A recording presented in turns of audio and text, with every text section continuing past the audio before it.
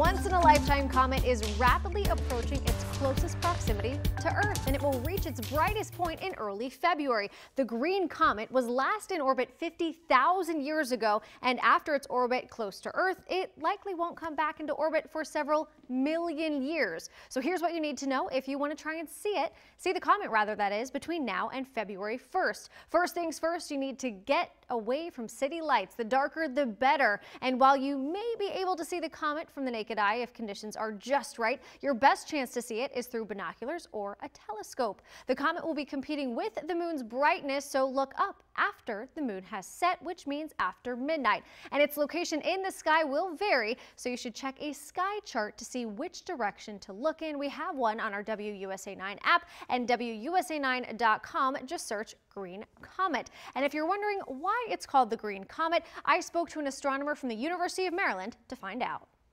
It's emitting a diatomic carbon molecule that emits green light when it's when the sun illuminates it. And so it's gotten this name that it's the green comet. So it's a it's somewhat unique in that respect. It's not uncommon in comets, but this one is particularly green. And the name Green Comet rolls off the tongue a little better than the comet's official name, which is 2022 E3ZTF.